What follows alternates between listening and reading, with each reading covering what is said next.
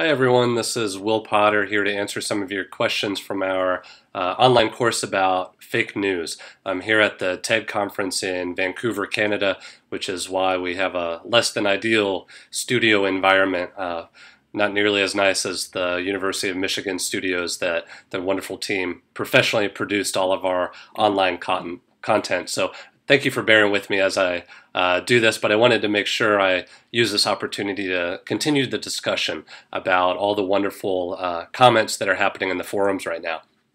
And before I get started, I wanted to really thank everyone from uh, joining us from all over the world. We had thousands of participants from more than 100 different countries. We had librarians and teachers, academics, journalists, um, and just everyday people that are passionate about this issue and want to take an active role in engaging with news and uh, engaging in a democracy. So in that spirit, thank you so much for being part of this.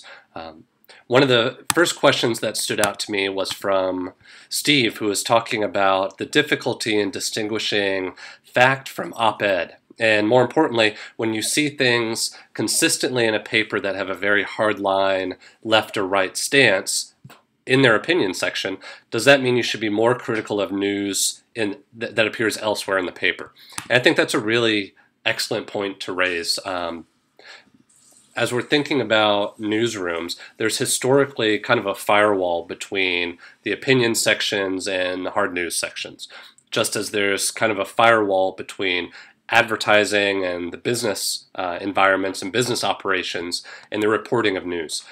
That being said, though, there is a culture in newsrooms that really crosses all of those boundaries. And I would argue, at least from my experience as a working journalist, that although the opinion and editorial writers are not um, directly influencing news coverage, they are part of a broader culture at that newsroom that sets standards about what is the appropriate tone and voice in reporting, what stories are more important than others, how they should be discussed, whether they should be approached um, very critically or more in a supportive way.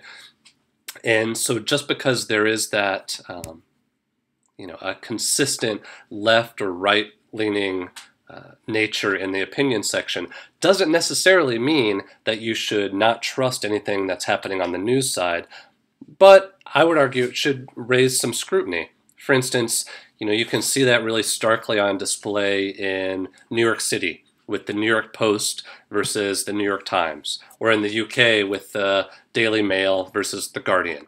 That the overall culture of those pe- uh, papers, um, some of them are very conservative leaning, both in their opinion sections and in their news reporting, uh, and others are more critical of people in power in both sections that being said, though, you know we're in a really interesting time right now. Um, it was shocking to me to see the Washington Post, which won a Pulitzer, you know, based on their reporting of the Edward Snowden revelations of surveillance. Um, the editorial pages condemned what Snowden did. So there's this tension that is often pretty messy.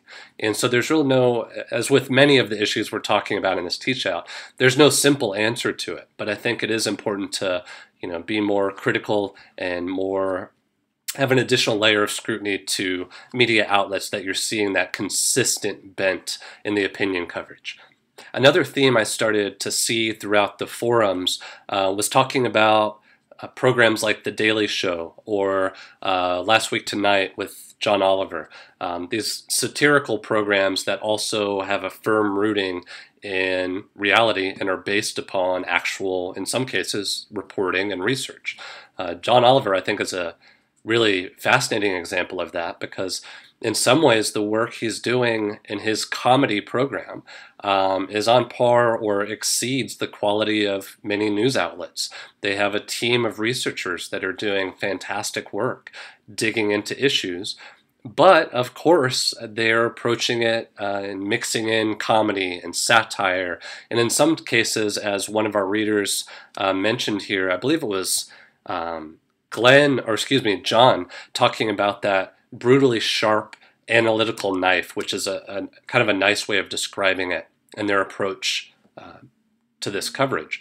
So I would right off the bat say you know, The Daily Show and programs like that are not journalists uh, or not news operations. They're not intending to be, they're not marketed as such. By the same account, they're not fake news. They're not trying to pretend to be something they're not. And they're also not uh, offering information that is so blatantly false or intending to mislead the public. They're a different animal. Um, satire has played a really important role in journalism historically. It's a powerful tool to expose corruption and propaganda and deceit. And I think we're seeing that in programs like The Daily Show or with John Oliver. Um, that being said, I wouldn't be so eager to discount what they're doing just because they have a point of view or because it's comedy that doesn't take away from the authenticity of the material that they're discussing. It doesn't make uh, the material they're using fake or inaccurate. It just means they're being transparent in their viewpoints. And I think in some ways that is really helpful for viewers. I mean, when you're watching The Daily Show or, you know, John Oliver, you understand where they're coming from. They're not hiding that. They're not pretending to be something they're not. Um, and that can be incredibly powerful. But like with anything else we're talking about in this teach out, uh, they can't be their, your only source of news.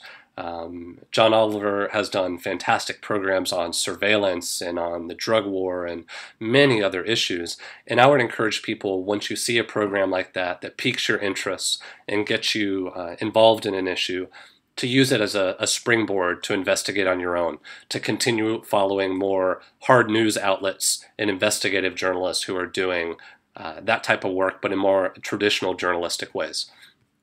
Another question we had here um, was from Frank talking about uh, journalistic norms.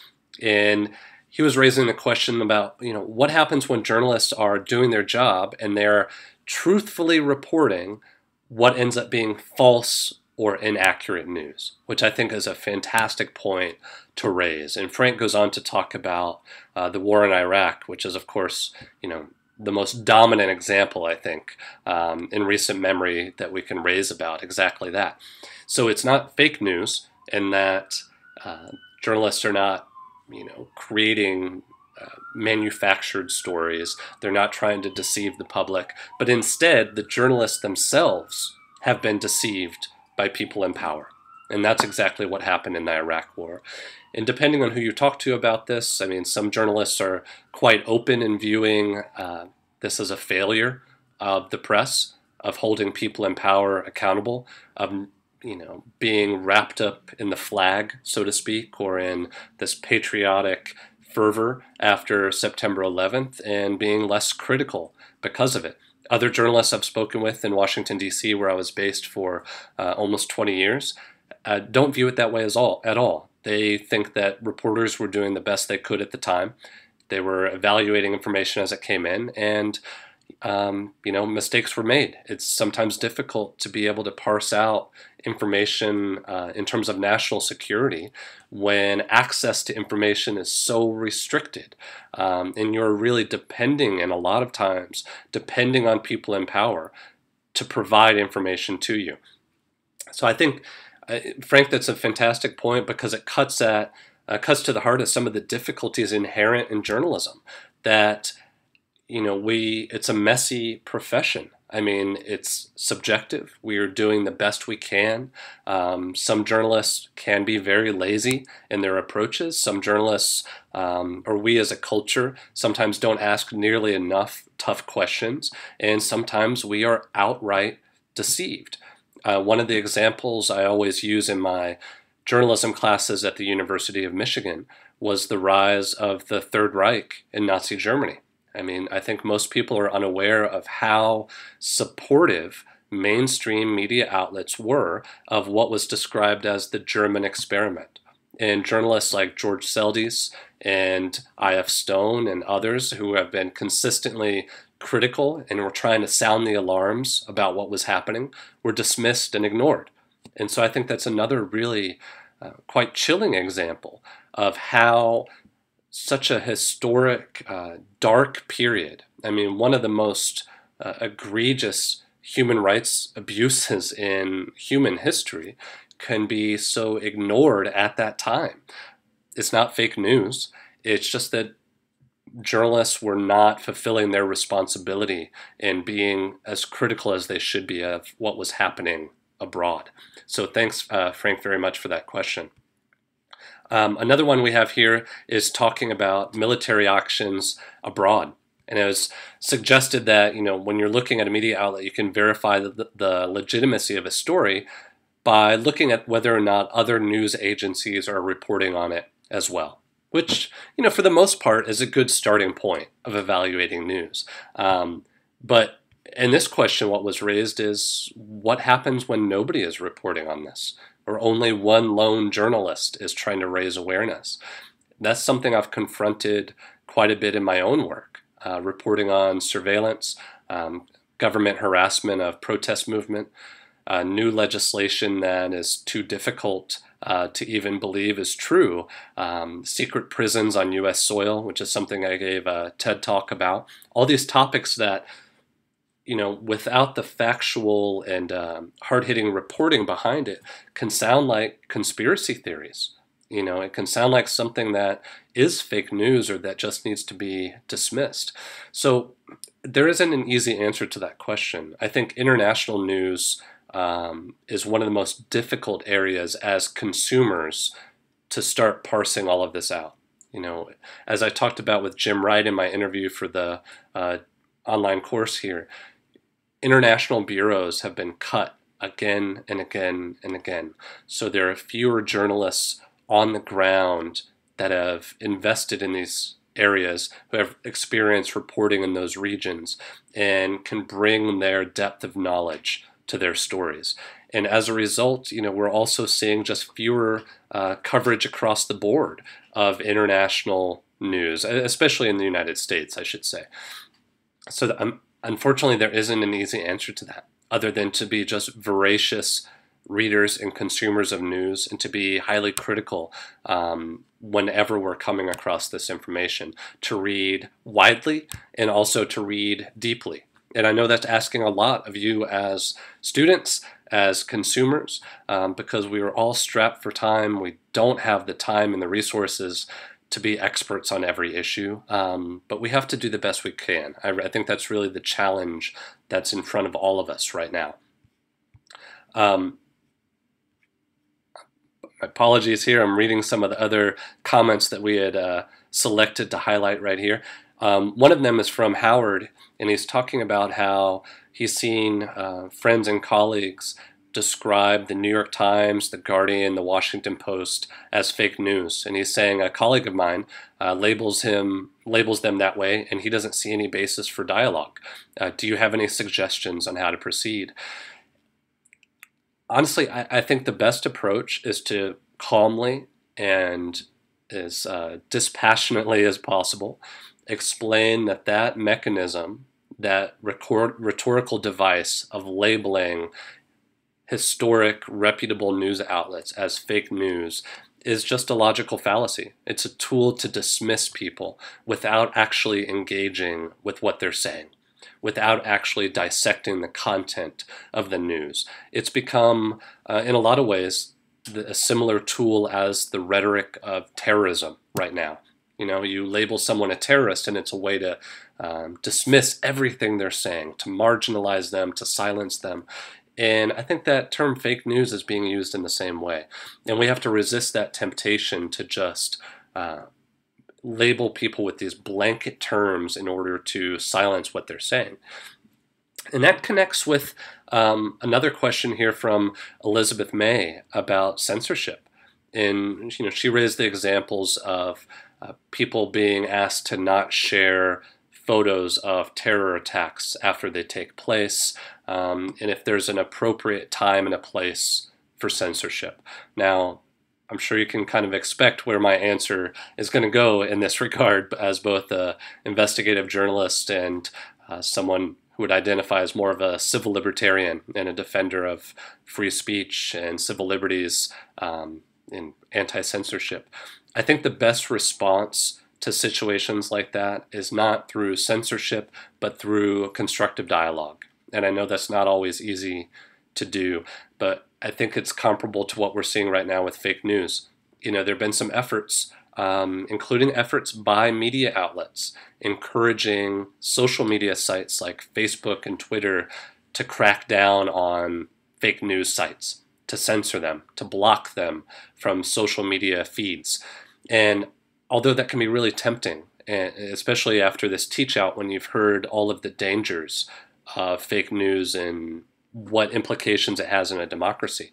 I think we have to resist that temptation um, for the sole purpose that when we defer so much power to either a social media site or to some other arbiter who's deciding what is fake news, it's removing that check and balance um, that we as consumers have. So, in other words, if we have to be critical of who has that power to decide what is fake news, um, and can that spread to critical media outlets? Is it going to uh, outlets that are deemed as far left or far right?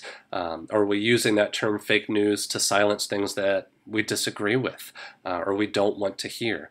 So instead of censorship or instead of um, verifying sites through some third party or through um, some kind of stamp of legitimacy provided by the government, which is another proposal that I keep hearing uh, in different circles, I, I, think we have to resist all of that. Um, we have to continue having a free and open media environment, and that comes with difficult situations like this. That the best response is to have more dialogue, more discussion, more critical awareness, uh, but not, in my opinion, censorship. Finally, we have uh, a couple questions from uh, John and Adriana. Um, oh, excuse me, I got a little ahead of myself. Uh, a disqu- uh, question from I'm not who the sure who the person's name is. The handle is Nwernik. So apologies if I'm pronouncing that wrong. And the question was about if media outlets should be more fair to politicians um, who attract fewer ratings. An example was given of Bernie Sanders and Hillary Clinton in the recent uh, presidential election in the United States. And, you know, I think it's a really important point. The press in the buildup of the election you know, in a lot of ways was kind of enamored with the controversy and the sensationalism of the Trump campaign. Um, also deferring to a lot of the Democratic Party insiders who were elevating Clinton and marginalizing someone like Bernie Sanders. And it's a tough battle for political reporters because you're wanting to, um, you know, focus on the candidates and the issues that are the most dominant and that are the most relevant. Um, you know, in both parties, there were so many candidates involved. It was you know difficult to provide equal attention to all of them, and I would argue it's probably inappropriate to do so. You know, there has to be some news judgment about who's the most important. Um, but I think it's a very fair point that in this presidential election, someone like Sanders was marginalized when um, the evidence shows he had a widespread public support and uh, perhaps even more support than Clinton did within the Democratic Party. So another one of these difficult issues that um, you know a lot of the more critical reporting was coming from the independent press, and that's why I always encourage my students to read widely. You know, not just the New York Times and the Washington Post, but uh, you know, sample some of the more partisan media outlets out there to get a more robust uh, sense of what's actually happening in the news. Um, finally, we had a question from Frank about the uh, U.S. focus of our teach out, particularly in the interviews I had with Mike Kessler and Jim Wright. And I think it's a very fair point. And my only response to that is, you know, the nature of our own biases in uh, constructing this teach out. You know, we're based at the University of Michigan. Uh, the Knight Wallace Fellows are there. This is a prestigious journalism fellowship that brings journalists from all over the world. And the way it just happened to work out with our uh, teach out is these are the um, some of the individuals as professors and as journalists who are available to talk about these issues. You know, and I think if given more time and more resources, we would love to have had ma- made this uh, more international in scope. Um, and it's just something that you know we're limited in our ability to focus on uh, certain issues. And that doesn't reflect a lack of care or a lack of importance for international media. Um, but to speak to your question, I think, you know, some of the uh, wonderful international outlets uh, to rely on are places like the BBC, um, CBC in Canada. Um, you know, there's powerful investigative reporting happening through the International Consortium of Investigative Journalists. These are the people who collaborated in uh, dozens of countries to break the Panama Papers, the Luxembourg leaks, um, international stories of incredible importance. Um, so there's no shortage of powerful work being done in other countries. Uh, this was simply the nature of our uh, teach out and the limitations and time constraints we had. So thank you for raising that and drawing attention to international issues. And, you know, I think I could keep going uh, all afternoon with uh, all the wonderful questions and comments we had. But to kind of wrap up right now, um, I think if there's one message to leave you all with and to kind of uh, unite a lot of these different threads I've seen in the forum and in questions from the thousands of people who have participated in this course, um, is that we have to be critical in how we're consuming news, but not cynical. And I think that's a very important distinction to make. I think it's really tempting right now as we're seeing um, this discussion of fake news and you know being critical of what uh, the mainstream press is not covering or where they've failed. It can be tempting to just throw up our arms, to be incredibly jaded about all of it, to not trust any of it, to be cynical and dismissive and just kind of put our head in the sand and say, well, everyone is lying to us. And as an investigative journalist, especially with the issues that I cover, I understand that um, emotion. I understand that urge, but we really have to resist it. I mean, the, I think it's no exaggeration to say that the future of democracy depends on people critically and uh, willingly engaging with this information. We do not have the option of just throwing up our hands and saying, well, corporations and the media and the politicians, they're all liars. We can't believe any of them. Everything's wrong. That's just not true.